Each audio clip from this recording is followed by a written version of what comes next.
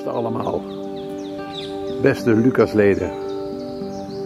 Dinsdagochtend 14 juni en we zijn hier op kasteel Assenburg in Heemskerk, waar we voor een laatste keer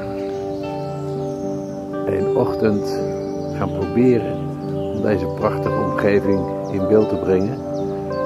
En nu is het even afwachten op de leden die nog gaan komen. Ja, het is zo'n beetje mijn afscheid aan het worden. Eind juni ga ik uh, voor het laatst uh, in het atelier nog een ochtend uh, met elkaar doorbrengen. En dan zit 16 jaar Lucas Schilder er voor mij op. En ook deze locatie is meerdere malen in de periode dat ik bij het Lucas begeleid bezocht. Tot mijn grote vreugde, want het is hier echt fantastisch. Uh, vandaag een vrije opdracht, dus de leden mogen zelf een spot om gaan kiezen. Het thema is rondom het kasteel. Nou, dat valt hier zo ontzettend veel te beleven. En als u nu alleen nog kijkt naar die prachtige weerspiegeling in, het, in de gracht van het kasteel, ja, dan is dit uh. Gaan het zien.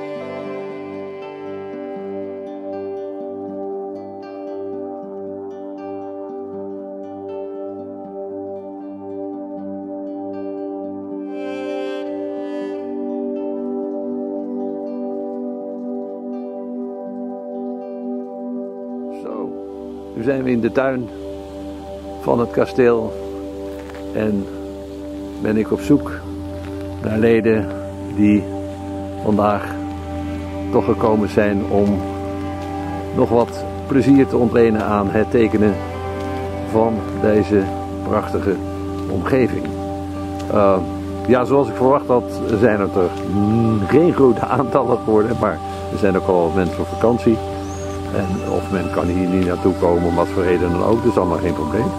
Uh, maar er zijn toch een aantal leden, zoals Johan, Ina, de beide André's heb ik gezien en Loes is aanwezig, dus daar ga ik nu, loop ik nu naartoe en dan gaan we eens kijken even bij Johan wat hij er van aan het maken is. Hij heeft een prachtig zicht op het kasteel.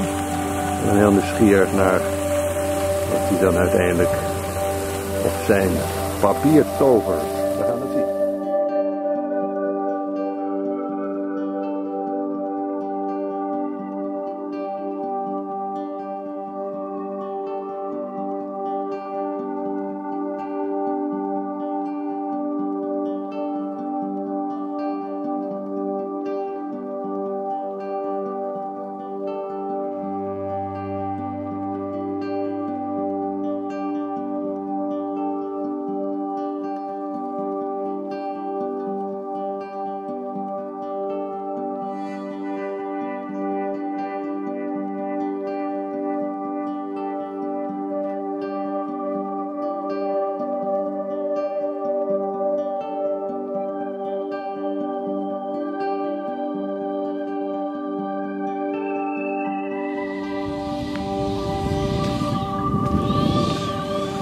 Wil het een beetje lukken, André?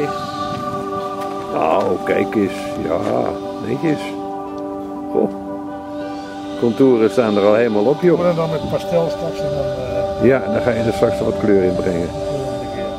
Ja, mooi man. in. Ja. Ja. Vond je het lastig om zeg maar, die, uh, die volumes te bepalen zo? Zo te zien heb je er aardig zicht op, want het, ja, zit er heel goed in. Ik heb lineaal, ik heb gewoon echt gedaan. Ja, nou netjes zo. Ja, keurig. Want het is best wel lastig hoor, om zo'n uh, massaliteit uh, die je voor je ziet te verkleinen. En dan een beetje in verhouding te blijven, et cetera. Dus nee, dan gaan we nu eventjes de boomgaard in. Want ook op deze locatie hebben ze dus ontzettend veel bomen met allerlei verschillende soorten fruit. En uh,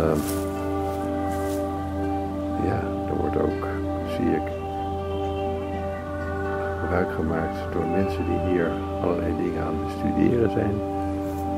Vanuit school, denk ik zo te zien. heel interessant. En ja, dan zie ik als ik nu onder deze boom doorloop, zie ik daar Loes zitten. Ik heb, ik heb de, het kasteel uh, gedag gezegd. Ja? Het is, het is, uh, Uh, kon, je, kon je er iets mee? Nou ja, oefenen in rechte lijnen. Hè? Ja, ja dat, dat wat je al zei. Hè? En dat heb ja. ik toch een half uurtje volgehouden. Nou, dat is knap. knap, Loes. En nou ben ik weer lekker bij hem. Oh, kijk. En nu heb je weer, zeg maar, gewoon de natuur. Ja, precies. Ja. En dat is... eh, En ook weer gewoon in je hele eigen manier van tekenen gewoon ja, oplossen. Gewoon Prima. lossen. Ja, lekker los zoeken.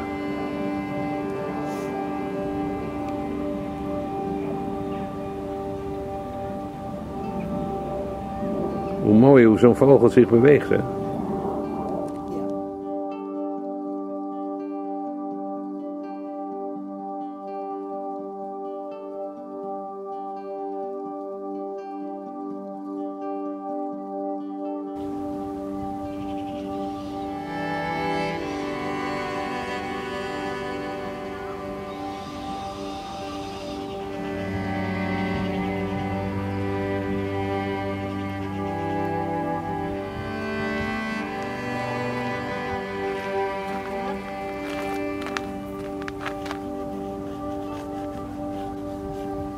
Dat is ook een hele losse manier van werken heb jij, hè?